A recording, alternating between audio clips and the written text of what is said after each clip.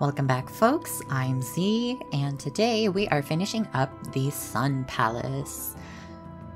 So, we started exploring the Sun Palace in the previous episode, and we have to try to get um, like a tower going so that way we can get the caretaker to see what's going on with the sun exactly.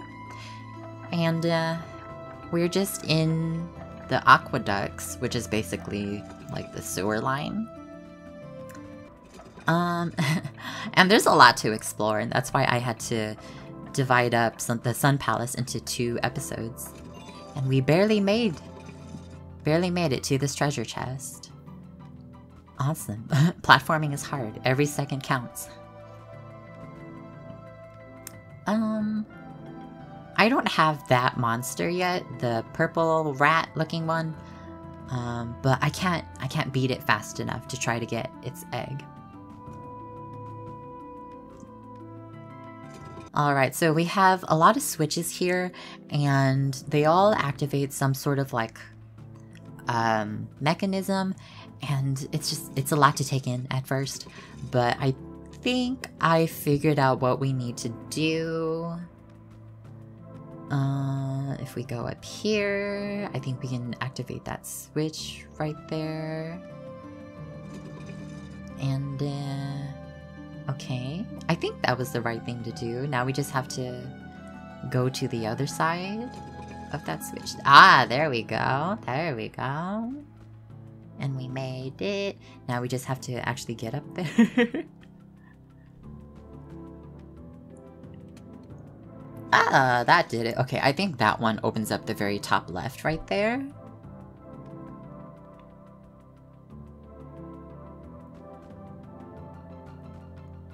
And, oh, come on.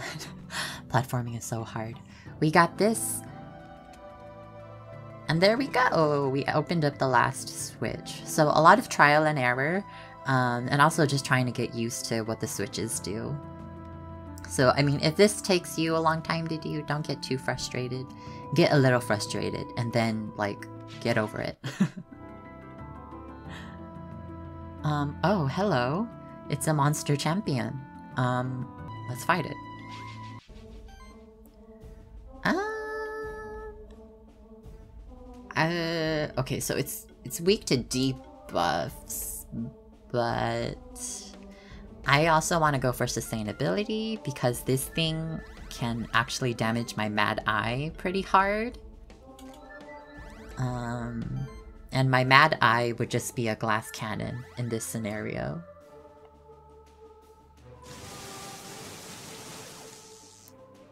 Um, let's... Oh, ice... Okay, so it, it can cause chill and shock. Which is kind of scary. Um... but not bad. I'm I'm doing okay.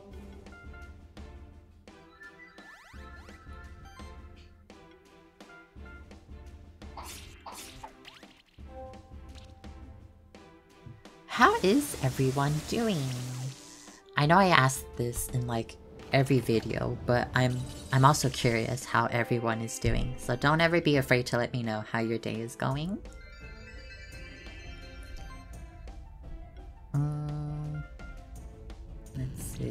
I know this thing is weak to debuffs, and the only debuff I have on it is armor break so far.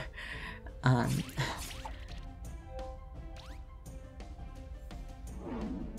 oh, tackle. Okay. Lightning bolt.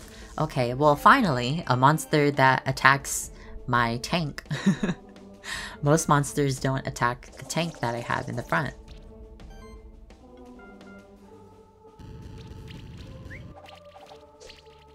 Alright, uh, we're not we're not doing too bad, especially since I have two stacks of regenerate. Well, three on my tank.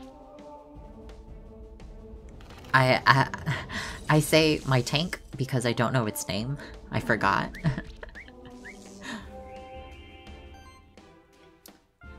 I, I seriously don't know what its name is. Um, but it looks like a tree. That's about it. um, okay, so the debuffs the blah blah blah blah blah. the debuffs I have are armor break and two stacks of weakness. I think the horse's name is Chillin. or is it Killin? it's Q I L N I. Um, let's just say his name is Chillin.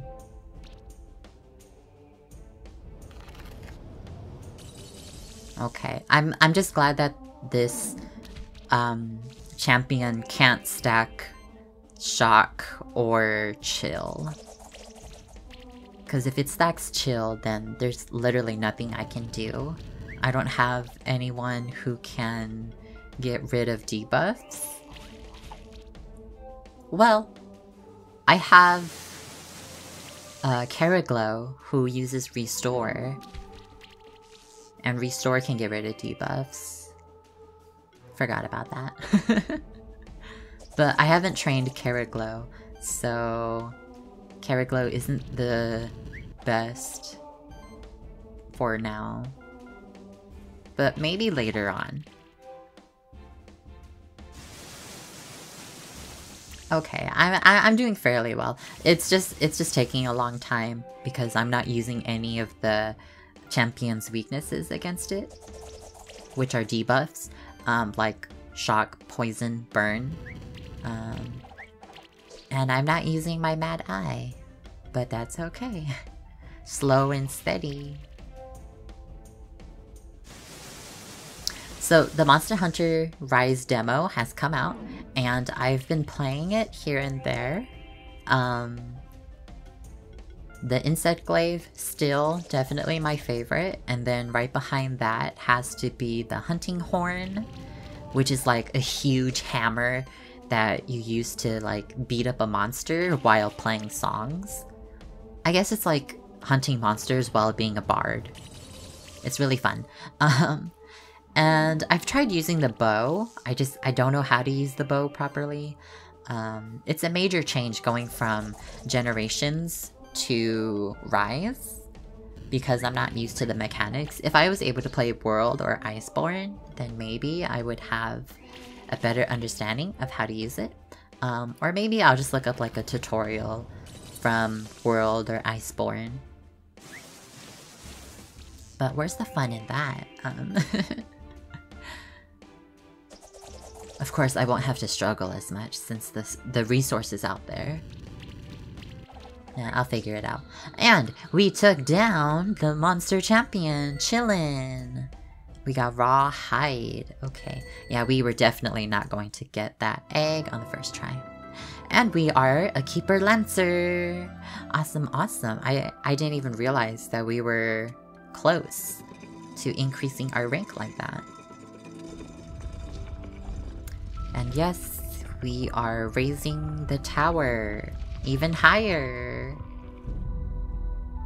I think we only have one more to go. One more level. Um, hi, caretaker. Seems like you've had success once more. However, we need to get even closer to the... There's an opportunity to... Drain okay. Yes, so we are going to drain the water by one more level. We have a lot of exploring to do. And then we can figure out what's happened to the sun exactly. He says the sun's not shining as bright as normal, and something is peculiar. Something is out of the ordinary.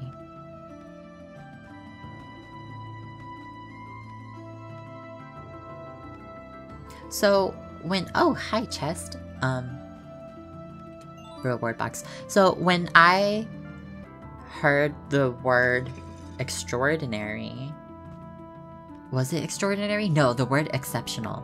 When you hear the word exceptional, it it it doesn't. I mean, the, the, the first time I heard it, I didn't think it meant what it meant.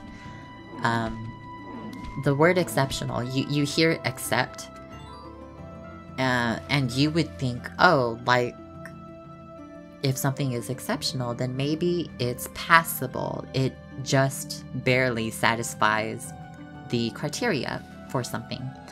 Um, but no, exceptional means that something is perfect or wonderful or amazing.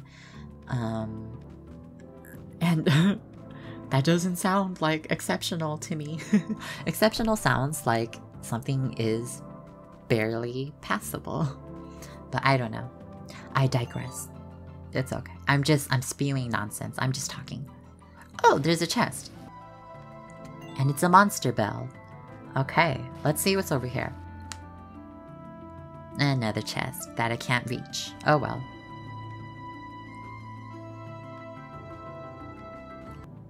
Okay. Um, oh, hello, monsters. Ah, this is the last switch we needed. And that completes the tower, basically. The tower to the sun. Alright, well, let's be on our way. And, uh, yes. I think Arm Tail is my favorite monster to use outside of battle. because, I mean, he's he's so cool. He's cool looking. I like his color scheme. And he's a kangaroo. And he has a derpy tongue. Alright, so I read somewhere in a comment section in someone else's videos um, that if you light up this pipe, you can fight a monster. a monster champion. I forgot where I read this. Um, but this was some some time like before I was even recording this. Um, it's weak to earth. Should I focus? Um, I don't know. I'll figure it out as I go on. Alright, we got some buffs going on. What? Oh, you know what it is? I don't have a monster that can... that has an ability to stack multiple buffs of regenerate. Wow, that's a lot of debuffs from Mad Eye. That's so OP. Oh my gosh. We have Burn, Armor Break, Weakness, and Chill. Four debuffs. Oh my gosh. Yeah, so the tank I was using before allowed me to stack multiple buffs of um, regeneration. But since I'm using a different um, tank, I don't have that luxury anymore. But that's okay. Um, I'm doing fairly well now. Ooh. Oh, wow. Oh, I'm glad he didn't use Explosion on Mad Eye. That would have done at least double the damage. yeah, my Mad Eye has a lot of MP now. A lot of mana. I forget which one. I think it's mana, yeah. Um, so I don't have to worry about my Mad Eye running out of mana, so I can use the strongest attacks yeah, without having to worry about mana.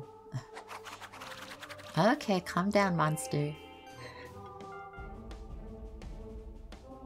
Yeah, I'm doing I'm doing fairly well against this uh, champion.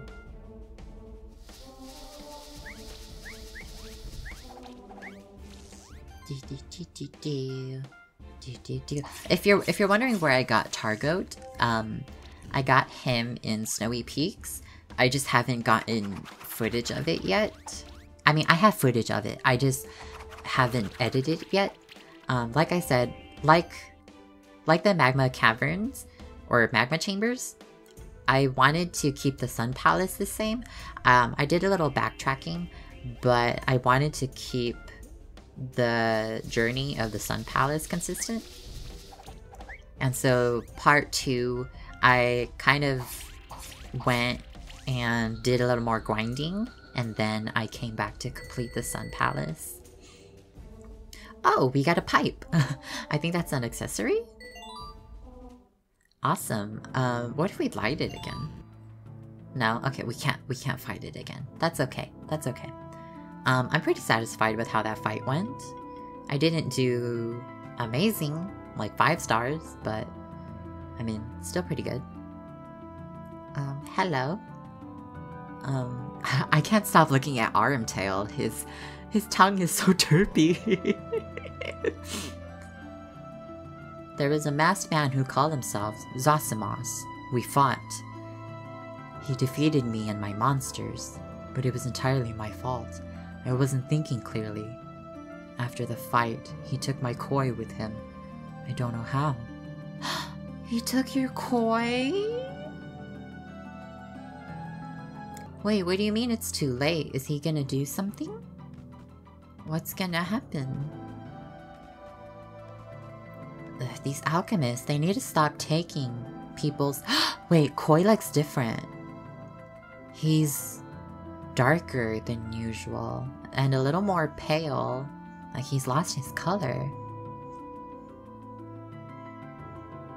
What? Wait, the, the sun is shifting? What do you...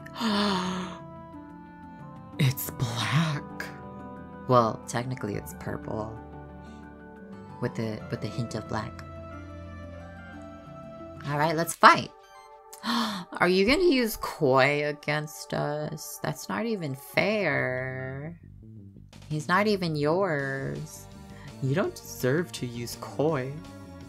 That makes me so sad. Oh my gosh. Um, Mad Eye? Should we use? Because they're weak to magic. Meow. Okay. Let's let's use Meowth for for now, so we can at least try to get like a head start.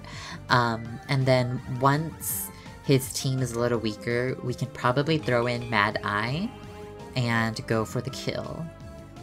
Because I don't want to throw out my strongest monsters first and then just have them end up dying. That, that may or may not be a very good tactic. Considering Meowth is the one that saved me last time. Um, in my last Keeper duel against an Alchemist.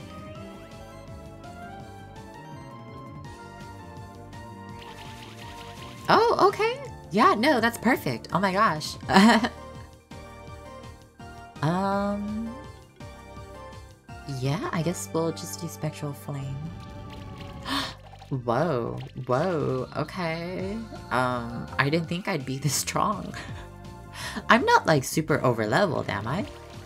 Because I thought the locations scale according to what your level is.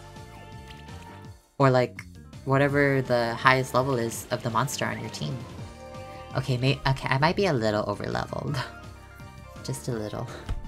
That's okay.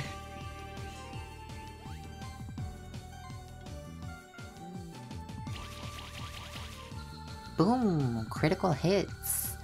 That's what I'm talking about. Yeah, let's take out that guy. Um, I don't want to deal with your poisoning anymore. Shield cast. Okay. Spectral wave. Okay, wow, this fight was a lot easier than I thought. Um, but like I said, I think it's because I went and I uh, I did a little over leveling. That's okay. I'm showing off the fight. No, I'm not that over leveled. What am I talking about? They're level 26. Um, I think my highest is like level 28 or level 29, so it's not like I'm super over leveled. I just happen to have strong monsters. Gemstone Rain. Eh, yeah, these guys aren't doing anything. So, if I understand this shift mechanic then every single monster has a shift variant. Um, it's kind of like a shiny system in a sense, um, but basically these shift variants give your monsters like special buffs. So Koi, he looks to be like a dark shift. Um, there are only two. There's light and there's dark. I don't know what Koi's dark shift gives him, but I have Targoat here, who is light shifted. So basically, whenever he gets a stack of, I think it's charge, then he also gives um, a portion of those stacks to his teammates as well. And I think that's why I did so well in this battle, is because um, those stacks that Targoat gave its allies. And I was doing extra damage, because I think each stack of charge gives you 1% increase in damage. The sun is still changed, what should we do now? It is as I feared, the shifting cannot be stopped. What will happen now? Will turn dark, but that is only the beginning. All of the monsters that live in the wilds, the nature will shift towards the darkness. They will become more aggressive. Koi? Um, oh, they're reunited. Koi. Oh, he's in the darkness now. That's right, he's still the same Koi, even though he's changed unwillingly. Why is he going towards the sun?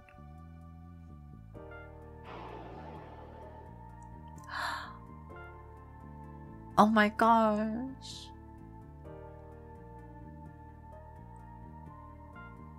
Oh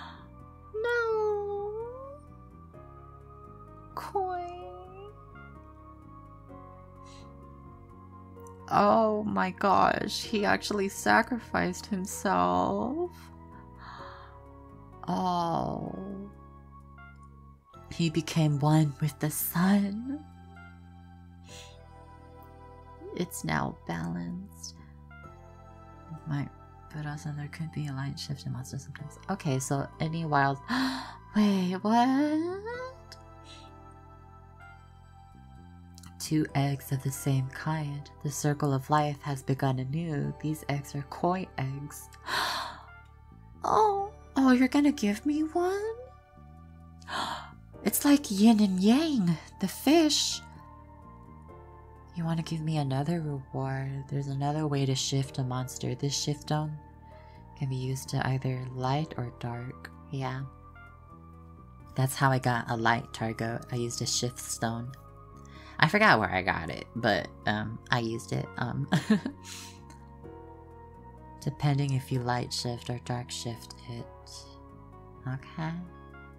Shift stones are very rare, but you might find more of them across the sanctuary. Alright. No, I don't I don't think I did anything. It was Koi. I mean, sure, I stopped the alchemist, but ultimately, it was Koi who saved the monster sanctuary. I mean, yeah. We definitely wouldn't be here if it weren't for Koi. Um, I'm all sentimental now. Oh my gosh, Koi. Oh, so that's your light shift, and that's your dark shift. Okay, you look pretty cool. oh, you have some pretty cool skills too. Well, you're you're definitely magical based, but you also have it looks like a lot of buffs. Um yeah, you have heals and wow, Phoenix Affinity. Okay. Um, wow, Koi, you're amazing. All right, folks. Well, thank you so much for joining me on this journey to the Sun Palace. I hope you enjoyed this video and just getting to see Koi Koi was definitely the MVP of this video. Well, I hope to see you in the next video, folks. Thank you so much for tuning in.